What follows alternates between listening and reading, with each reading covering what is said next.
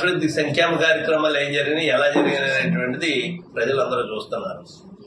ఎక్కడికెళ్ళా ప్రజలందరూ కూడా ప్రమాదం పెట్టేటువంటి విధంగా ఉంది.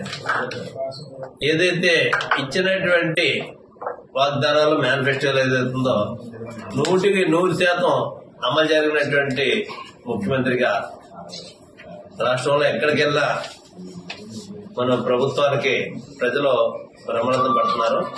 దీంట్లో మన నియోజకవర్గంలో ఉన్నటువంటి అండపేట నియోజకవర్గంలో ఉన్నటువంటి కపిలేశ్వరం రాయవరం మెండపేట రూరల్ మండలం టౌన్. ఈ నాలుగు ప్రాంతాల నుంచి కూడా పెద్ద ఎత్తున పార్టీ అభిమానులు మహిళలు ఈ ప్రభుత్వం వల్ల లబ్ధి పొందినటువంటి కుటుంబాలు ఎవరైతే ఉన్నారో అందరూ వచ్చి ఈ బస్ యాత్రని జయప్రదం చేయవలసిందిగా మీ అందరి ద్వారా మరొకసారి మరిన్ని వీడియోస్ కోసం ఛానల్ సబ్స్క్రైబ్ చేయండి. లేటెస్ట్ అప్డేట్స్ కోసం వాట్సాప్ ఛానల్ ఫాలో చేయండి. అండ్ లింక్ డిస్క్రిప్షన్లో ఉంది.